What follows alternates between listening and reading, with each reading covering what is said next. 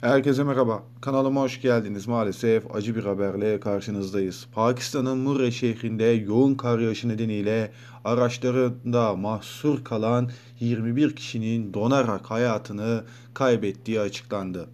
Yerel basındaki habere göre başkent İslamabad'da 70 kilometre uzaklıktaki Murre şehrinde ve Galiyet bölgesinde akşamdan itibaren yoğun kar yağışının etkili olduğu ifade edildi. Murre'de araçlarında mahsur kalan 21 kişinin donarak öldüğü ifade edildi. Hayatını kaybedenler arasında bir polis memuru, eşi ve 5 çocuğunun da bulunduğu açıklandı.